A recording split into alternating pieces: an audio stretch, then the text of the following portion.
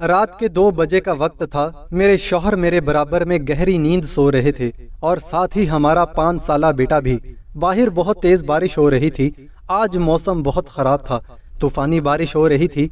मेरे शोहर और बेटा दोनों गहरी नींद में थे। रात का खासा पहर गुजर चुका था, मगर नींद मेरी आँखों से कोसों दूर थी। इसकी वजह ये तूफानी बारिश नहीं, बल्कि वो तूफ़ान था, जो आज से तकरीबन छह साल पहले मेरी ज़िंदगी में आया था।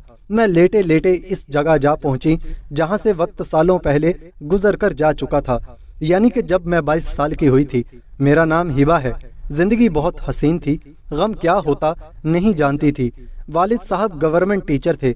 हम दो ही बहनें थीं। आपस में बहुत मोहब्बत थी। हमारी ज़िंदगी अच्छी गुजर रही थी। मेरी तो पढ़ाई मुकम्मल हो चुकी थी फायजा कॉलेज जाती थी। मैं घर के कामों में अम्मी का हाथ बटाती। एक दिन अम्मी पड़ोस गई हुई थी, दो बज रहे थे। फायजा के कॉलेज से आने का वक्त हो गया था। मैं बावर्ची खाने में, खाना बनाने में मसरूफ थी। मुझे फ़िक्र हो रही थी, क्योंकि आज फायजा कॉलेज से लेट हो गई थी। इतने में दस्तक हुई।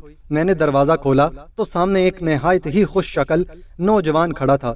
इसने चश्मा उतारा, इसकी आँखें काली थीं। न जाने इन काली आँखों में ऐसी क्या बात थी जो यूँ एक ही पल में मुझे इसकी तरफ़ खींच रही थी।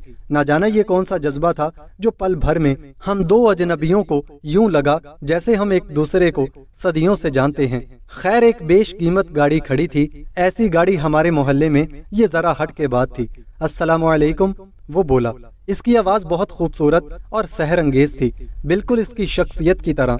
इसके बोलने पर मैं जैसे होश में आ गई और अगले ही पल मुझे खुद पर गुस्सा आने लगा। ये मैं हूँ, यकीन न हुआ। एक गैर मर्द की तरफ़ खुद को माइल होता देखकर मुझे खुद पर शर्मिंदगी हुई।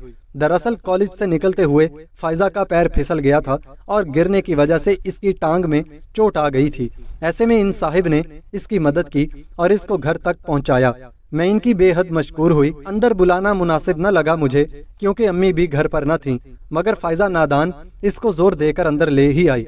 मगर मैं जाकर उसी वक्त अम्मी को बुला लाई थी। अम्मी इनकी बहुत मशकूर हुई, वो देखने से ही शरीफ लगता था और था भी।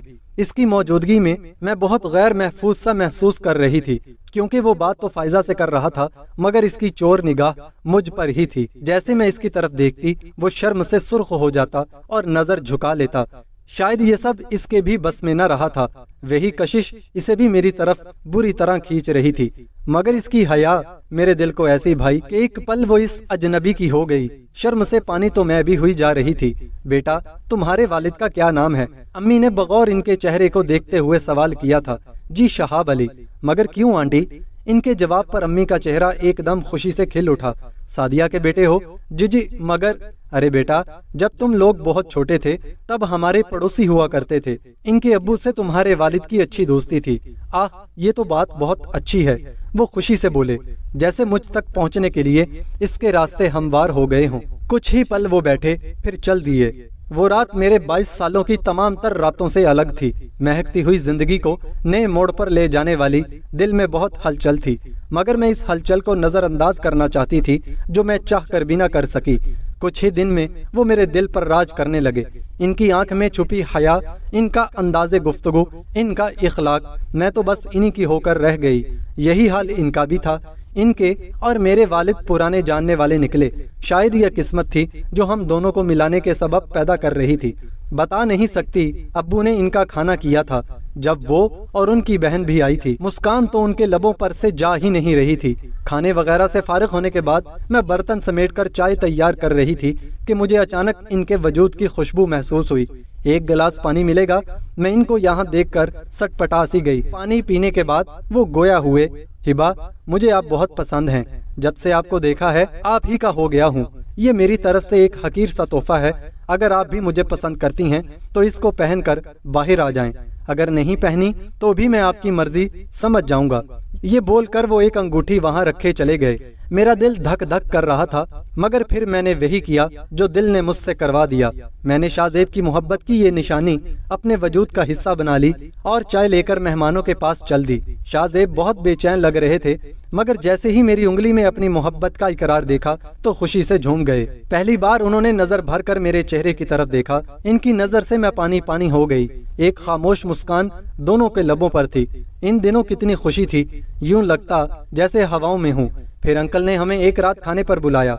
मैंने जी भर कर सिंगार किया था। उस दिन जब हम इनके घर पहुँचे, मेरी नज़र मुसलसल शाहजेब को तलाश कर रही थी, मगर वो न दिखे थे।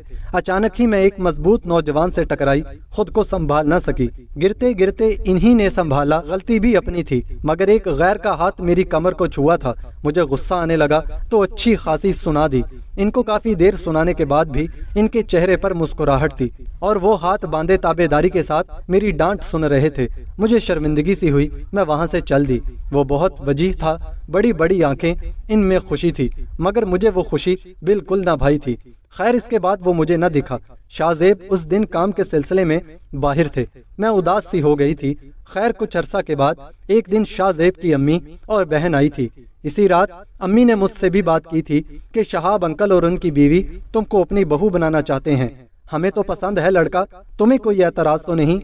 मुझे भला क्या एतराज़ हो सकता था? मैं तो खुशी से खिल उठी, जैसा आप मुनासिब समझे, अम्मी। ये बोलती मैं वहाँ से चल दी। आज वो लोग रस्म करने आए थे। शाहजेब भी साथ थे। वक्त रस्म हुआ। मेरे चेहरे पर हयात दमकने लगी। शाहजेब की वालदा ने मुझे अंगूठी डाली, जिसकी वजह से मेरे हाथ से वो अंगूठी उतार ली गई, जिसको मैंने पहले ही इस उंगली में पहन रखा था। ये शाहजेब ही की मोहब्बत की निशानी थी। मैं समझ न सकी थी कि इस अंगूठी के उतरते वक्त मुझे इस कदर तड़प सी क्यों महसूस हुई थी। खैर, मुझे अंगूठी डाल दी गई। मैंने शाहजेब के चेहरे की तरफ़ देखा, मगर वो बेतासुर खड़े रहे। अगले ही पल मुझ पर कयामत बर्पा हो गई, जब मेरी सास ने कहा कि आज से तुम मेरे बेटे जुहेब की अमानत हो। दरअसल जिस लड़के से मैं उस दिन टकराई थी, वो इनका दूसरा बेटा शाहजेब का छोटा भाई, जुहेब था। इसने मुझे पहली बार देखकर ही पसंद कर लिया था। पसंद क्या किया? उसने मुझसे इश्क किया था और फिर उसी के कहने पर यह रस्म की गई। शाहजेब भाई की मोहब्बत में चुप हो रहे, मैं टूट गई, समझ न आया क्या करूँ। शाहजेब ने आँख के इशारे से चुप रहने को कहा तो मैं समझ गई कि अब इनकार का भी कोई फ़ायदा ना होगा। अगर मैं अपनी मोहब्बत और हक की खातर अभी खड़ी भी हो जाऊँ तो वो महबूब ही मुझे अपनाने से इनकार कर देगा।